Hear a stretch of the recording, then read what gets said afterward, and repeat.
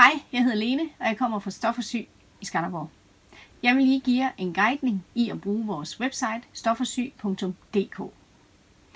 Stofforsyg.dk det er det, I skriver op i jeres URL-felt eller jeres Google-søgning.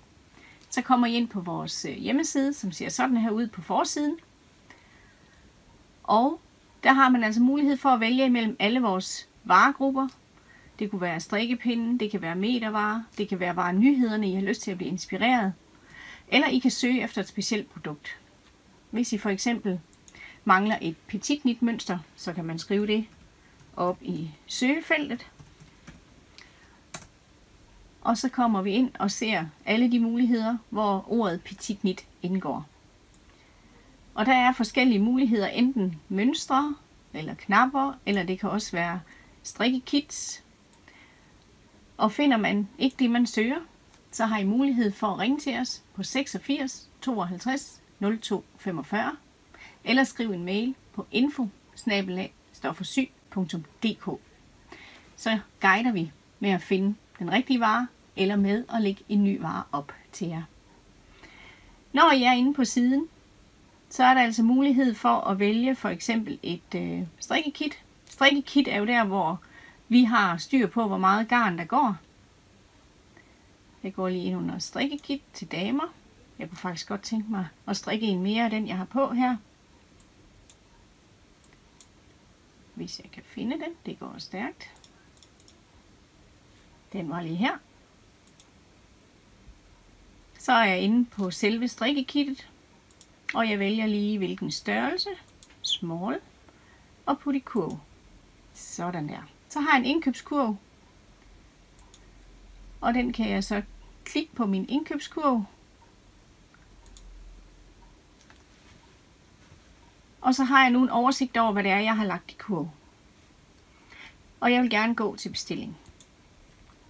Lige med hensyn til strikkekit, så skal jeg informere om, hvilken farve jeg gerne vil have.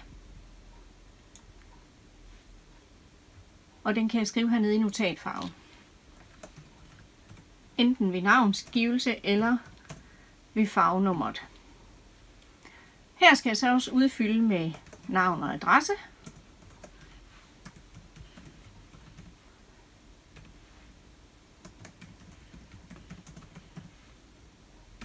Og det kender I jo med alle oplysninger,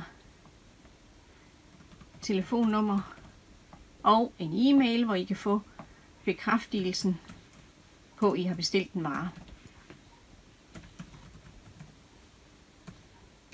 Sådan der. Og så har jeg muligheden for at vælge at få det sendt med PostNord. Vi får afhentet post hver eneste dag. Du kan få sendt til din hjemmeadresse, eller du kan få sendt til et afhentningssted, der er tæt på, hvor du bor. Eller du kan vælge afhentning i butik her i Skanderborg.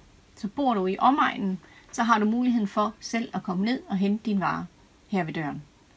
Vælger man den løsning, så får man en mail, når varen er klar til afhentning, og med det tidsrum, varen kan afhentes i. Så skal jeg vælge min betalingsmetode, og så skal jeg acceptere ordren, og så gennemføre ordren.